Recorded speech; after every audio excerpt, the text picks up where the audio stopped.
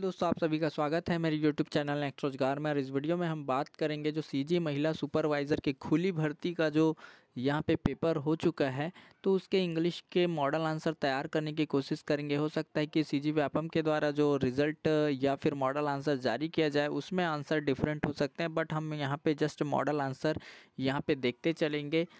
एक ओवरव्यू कि किस प्रकार के क्वेश्चन का यहाँ पर आंसर आपका हो सकता है। इसमें कुछ खामियाँ हो सकती है। ये मेरे अनुसार जो आंसर तैयार किए गए हैं तो चलिए यहाँ पर देख लेते हैं।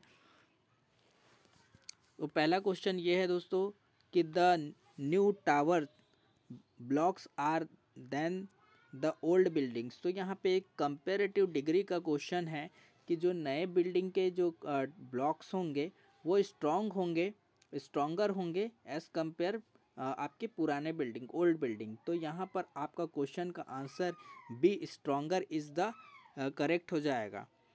नाउ, यहाँ पर आपके क्वेश्चन नंबर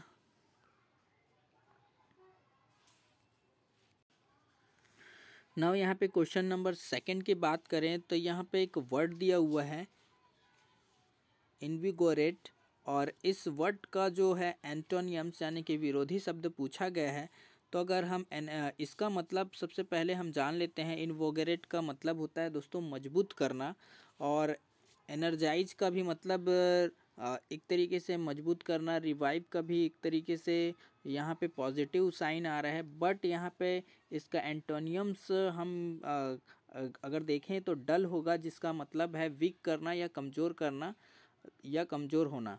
तो यहाँ पे डल आ जाएगा, आपका इसका राइट आंसर बी हो जाएगा। देन यहाँ पे एक क्वेश्चन दिया गया है, आपका जो करेक्ट करेक्ट वर्ब यहाँ पे हमको चूज़ करना है तो the boys are eager is a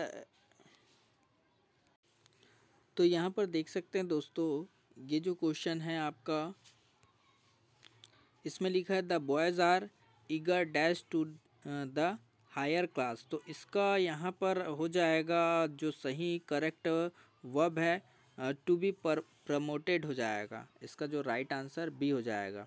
now यहाँ पे जो क्वेश्चन दिया हुआ है, इसमें करेक्ट स्पेलिंग आपको टिक करना है।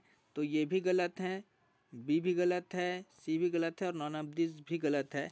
तो यहाँ पर जो लिखा है वर्ड अनस्क्रिपल्स का मतलब होता है आपका एक तरीके से चीकी या निर्लज होता है। तो क्वेश्चन सेवेंटी नाइन या फिर कह सकते हैं जो भी आपके सेट में हो, उस क्वेश्चन का राइट आंसर हो जाएगा ए देन उसके बाद यहाँ पर नेक्स्ट क्वेश्चन है आपका।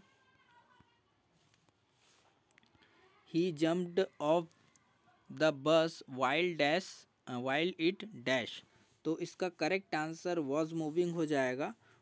वो बस से जो कूदेंगे तो कब कूदेंगे? वॉज़ मूविंग जब टर्न हो रही होगी मूव हो रहा होगा बस। देन यहाँ पर आपके eighty number eighty one number का जो क्वेश्चन है यहाँ पर मेरे पास तो इसमें पेसी वाइज जो करेक्ट है उसको आपको चूज़ करना है। तो इसमें जो करेक्ट फॉर्म दिख रहा है ए आंसर जो है यहाँ पे सही हो जाएगा। The house has to be sold by him okay then उसके बाद यहाँ पर हम क्वेश्चन नंबर एटी टू देखते हैं। तो यहाँ पर क्वेश्चन है आपका these people dash house we destroyed in the cake need to be help तो इसमें आएगा जो करेक्ट क्वेश्चन का आंसर वो ये हो जाएगा आपका। क्वेश्चन नंबर एटी टू का सी आंसर करेक्ट हो जाएगा। हेल्प किनको चाहिए, जिनके, जिनका अर्थ को एक में नुकसान हुआ है तो यहाँ पे हुम आपका करेक्ट आंसर हो जाएगा। देन एटी थ्री का जो आंसर होगा आपका, इसमें क्वेश्चन पूछा है one who is against the religion ऐसे जो मैन या ऐसे जो आप व्यक्ति पर्सन जो रिलीजन के अगेंस्ट है तो उनको हीरेटिक कहा जाता है। हेरिटिक कहा जाता है, ओके? देन उसके बाद यहाँ पर पूछ, एक वर्ड दिया है, स्क्वालिड स्क्वालिड। तो इसका मतलब होता है मलिन या गंदा, हैप्पी और एगर, और इसके बाद क्लीन। ये सब वर्ड जो हैं आपके पॉजिटिव साइंस शो कर रहे हैं, बट यहाँ पर देखेंगे जो सिनोनियम्स है, आपका इसका इसका है फिल्थी यानी कि गंदा।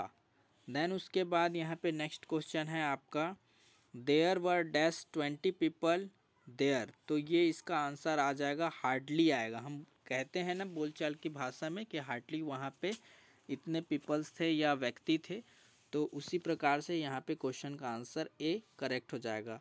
तो आई होप ये वीडियो आप लोगों को पसंद आए मैंने हिंदी का अपलोड कर दिया है, ये इंग्लिश का है। हो सकता है इसमें कुछ गलतियाँ हो तो मुझे माफ़ करें। थैंक यू धन्यवाद। बने रहिए नेक्स्ट रोज़गार के साथ।